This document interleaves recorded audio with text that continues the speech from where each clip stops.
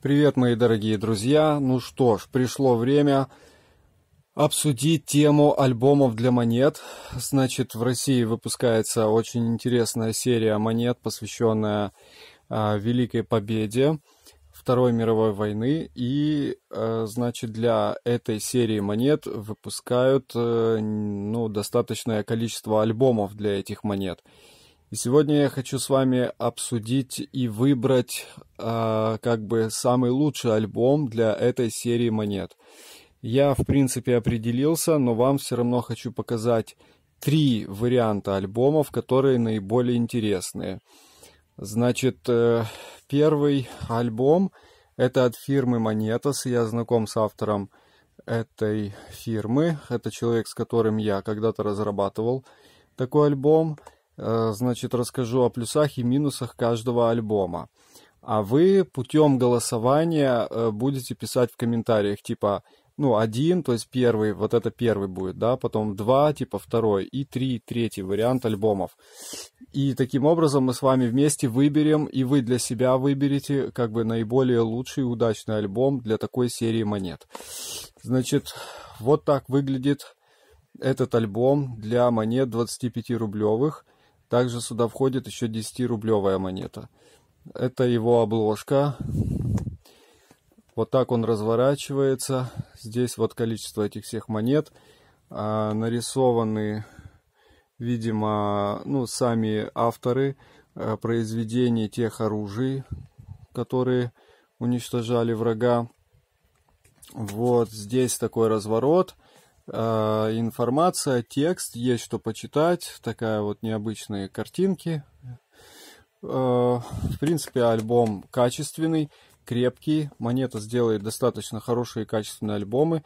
Материал твердый, он не разваливается, крепкий, очень устойчивый.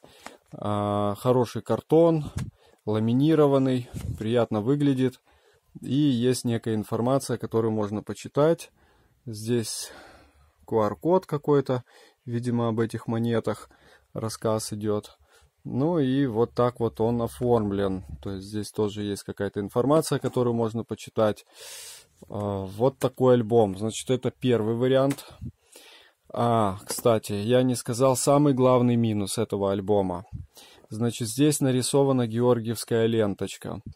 А, в Украине запрет на георгиевскую ленточку, на ее ношение, распространение и так далее. И такой альбом э, под запретом в Украине. То есть этот альбом невозможно будет привести через границу законно. То есть, если у вас его найдут, есть огромная перспектива иметь серьезное движение с таможенниками. Поэтому такой альбом очень опасно и нежелательно вести на территорию Украины потому что, ну, реально могут быть серьезные проблемы из-за вот этих вот нарисованных георгиевских ленточек. Это, понятно, медали, к этому претензий и проблем нету, а вот именно к этой ленте могут возникнуть серьезные вопросы. В этом минус самый главный этого альбома, потому что он пойдет на все СНГ, кроме Украины, а в Украине достаточно много людей собирает монеты России. Следующий альбом, который меня удивил – выпускает его Госзнак России, то есть это конкретно та контора, которая делает разные альбомы для монет официальные. То есть это официальный российский альбом для монет. Он выглядит таким образом. Значит, у него здесь вот такая вот э, запаечка. Он идет в пленочке, упакованный. Это тоже приятно. И в этом альбоме есть жетон жетон от госзнака. То есть это, по идее, московский монетный двор. Сейчас мы посмотрим, есть ли там логотип. Вот так выглядит. Здесь тоже могут возникнуть проблемы, потому что 75 цифра выполнена георгиевской ленточкой. Это, конечно, не сразу и не всем заметно, но если захотят, могут прицепиться. Поэтому такой альбом в Украину тоже немного стрёмно вести, несмотря на то, что это официальный то есть именно официальный альбом. Вот здесь есть логотип госзнака. Вот так вот все здесь расписано. Символика СССР. Он достаточно тяжелый. А, тоже интересная информация расписана. Симпатично сделанный. Раскладка очень хорошая и качественная. Так, смотрим обратную сторону этого жетона. Да, вот московский монетный двор. Вот логотип есть. То есть это официальный жетон Московского монетного двора. Тираж этих альбомов я не смог уточнить. Выглядит он очень качественно. А, не смотрел еще, есть ли тут место для 10-рублевой монеты, посвященной 75-летию Победы. Вот тоже много текста, много информации сделан тоже достаточно качественно. Когда альбом забьется всеми монетами, он будет очень тяжелый, поэтому качество альбома должно быть на высоте. Этот альбом реально крут, очень качественно сделанный. Молодцы, постарались. То есть это как э, официальный э, альбомы, допустим, НБУ делала для всех областей Украины, но этот альбом намного круче, чем делала НБУ для областей Украины. Вот такой вариант номер два, поэтому голосуйте, если вам понравилось.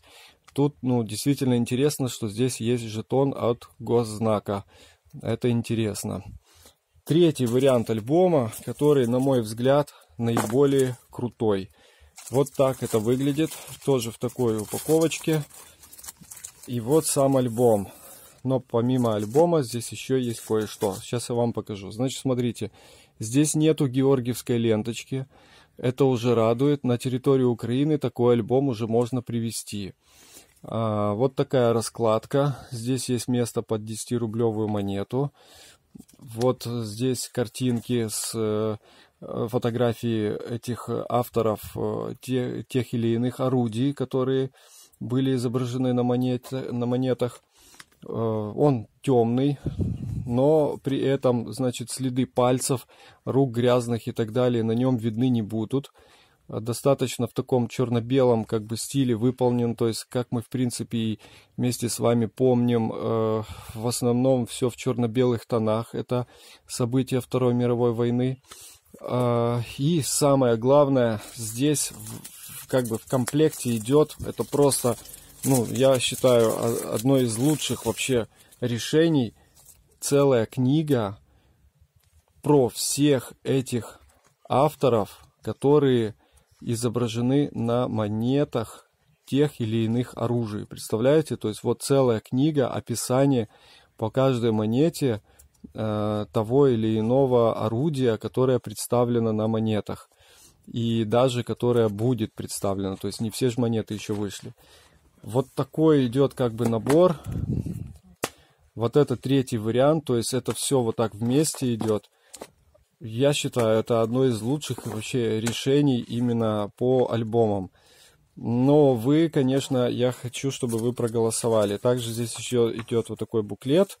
Видимо, фирма рекламирует себя, что она там делает еще или еще, не знаю. Ну вот еще вот так вот два каких-то буклетика идет. По ценам я буду писать позже в сообществе, э, чтобы вы, э, ну, когда вы определитесь, допустим, я в Украину поеду, и если э, кому какой интересен альбом, кроме вот этого, этот альбом, сразу говорю, я вести не буду в Украину, потому что, ну, я как бы очкую, мне проблемы на таможне не нужны, поэтому этот альбом будет для других стран СНГ продаваться. А вот такой альбом, и в принципе на страх и риск такой альбом можно попытаться привести. А, но этот, э, вот с этим альбомом проблем на территории Украины не должно быть, потому что здесь нет запрещенных сим, ну, запрещенной символики. В Украине декоммунизация, я считаю, это полным обредом и абсурдом. Это наша история.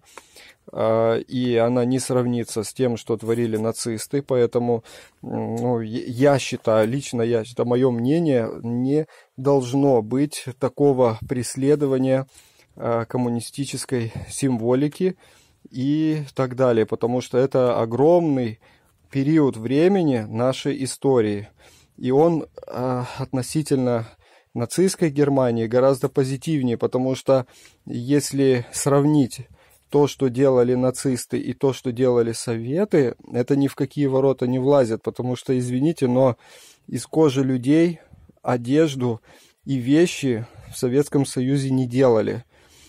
Ну и я не буду больше там рассказывать о зверствах, но разница колоссальная, поэтому невозможно сравнить два этих режима.